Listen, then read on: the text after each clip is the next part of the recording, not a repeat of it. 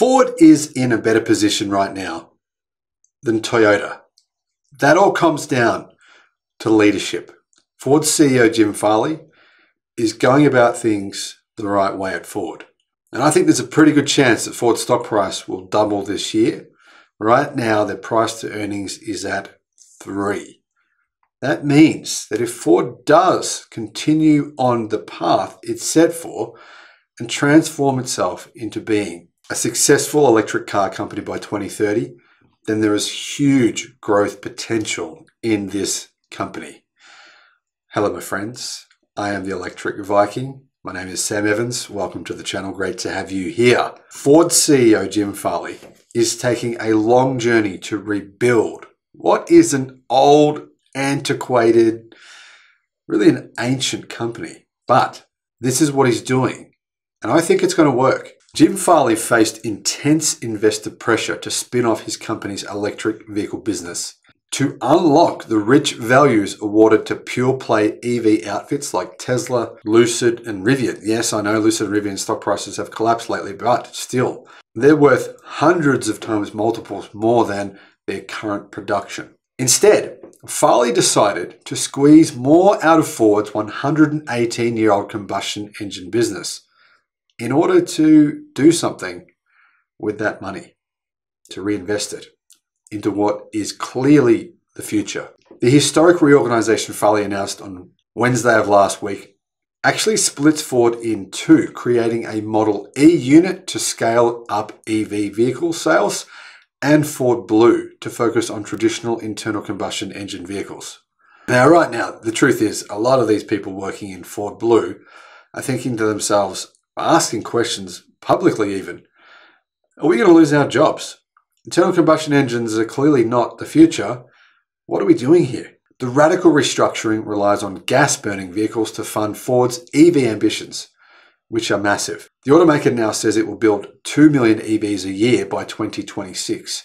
That's a huge leap from the 27,140 electric Mustang Mach E's it sold last year, making it the second largest electric vehicle manufacturer in America. And it raised its margin goal for earnings before interest and taxes to 10% from a previous target of 8%. But how are they going to get there? Well, Ford's planning to boost profit from its traditional gasoline powered business, selling fossil fuel powered F 150 pickups and Bronco SUVs by slashing costs in its legacy operations, which will include layoffs, most certainly will. Well, Farley said it could include layoffs. That means it will. Rather than seek greater access to capital markets through the clean break a spin off could bring, Farley said Ford will transform its internal combustion business into a profit and cash engine for the entire enterprise. Sounds ambitious. The most important thing is our core ICE or internal combustion engine automotive business, Farley said in an interview with Bloomberg. It needs to be a lot more profitable. We think we're going to have to take about $3 billion out of our structural costs to make that business fully competitive. Lots of cost restructuring going on at Ford.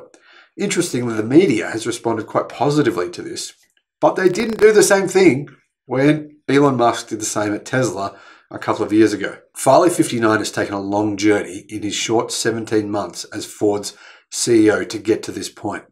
His moves to accelerate Ford's plug-ins plans reversed a six-year slump in the stock, which is up more than 170% since he took over, including an 8.4% gain last week on Wednesday when he made this announcement. However, Ford stock is still incredibly cheap when compared to other automakers, in particular, in comparison to other electric only automakers.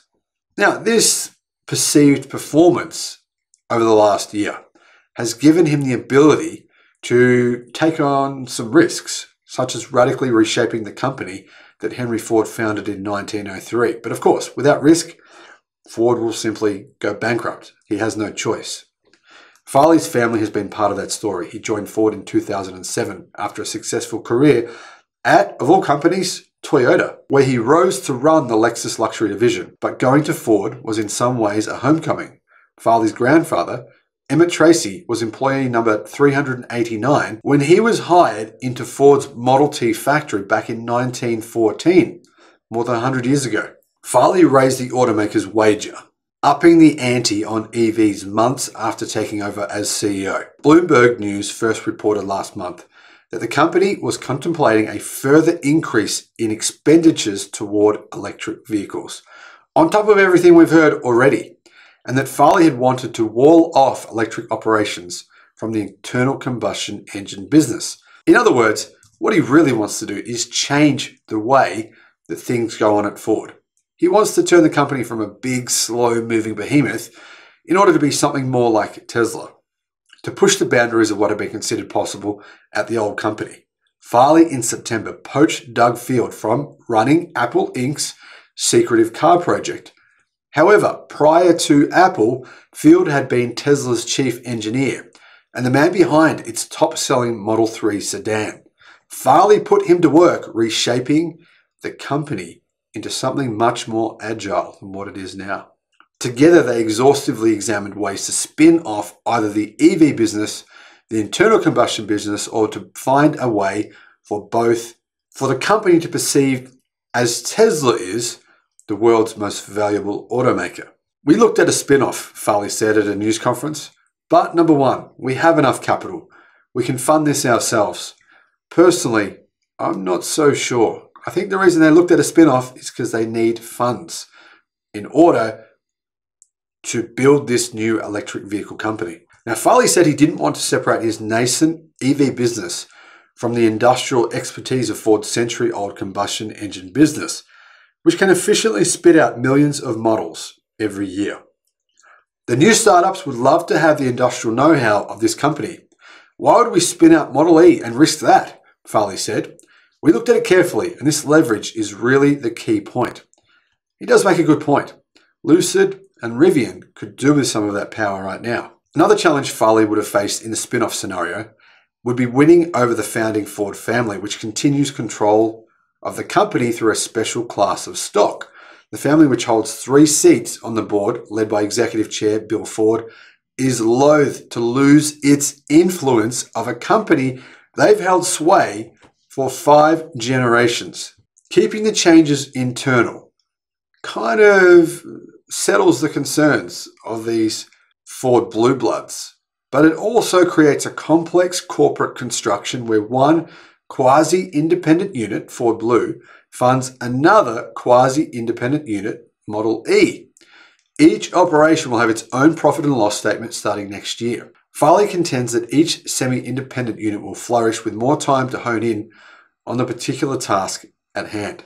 We can't compete with the very best of the ICE or the electric vehicle world by working on battery electrics from 9 till 10 in the morning, Farley said in the interview. We have to be focused. Farley also is boosting Ford's bet, again on EVs, adding another 20 billion to take the total tab up to 50 billion invested by 2026. That's a lot of money, as Bloomberg has previously also reported. That cash will come from the legacy business where the F Series pickup generates 42 billion a year in revenue, making it larger by that measure than McDonald's, Coca-Cola, or Starbucks. We just raised our volume essentially by a million units to 2 million EVs a year, Farley said. With that comes lots of capital for battery plants, new vehicles and platforms, tooling, and raw material for batteries, he said. And those demands meant that Ford needed to keep its profit engine, traditional business, yoked to the upstart EV operations.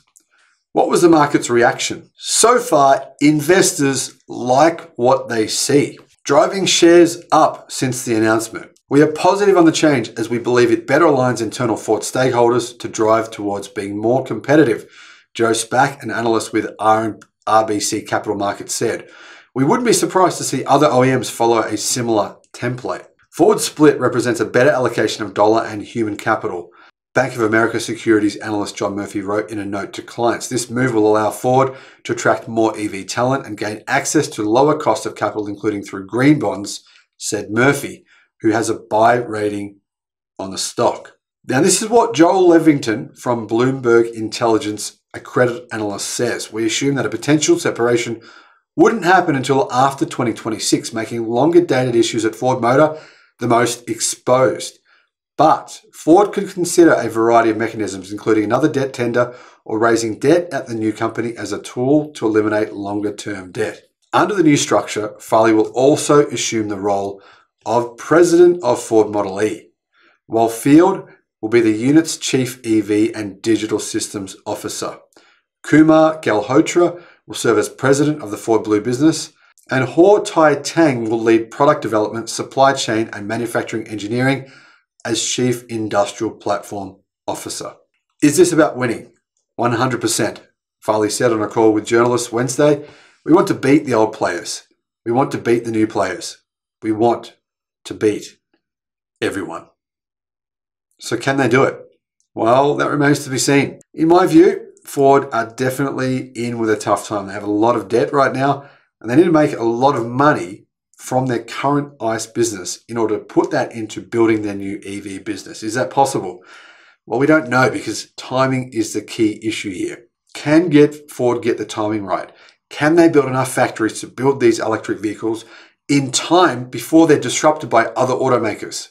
Well, they might be able to do that because Ford currently, well, essentially control the pickup market in the US. And it's going to take a long time before that market is completely disrupted. I think Ford have time, but I do think they need to do things with a sense of urgency that the company has never seen before. Thanks for watching.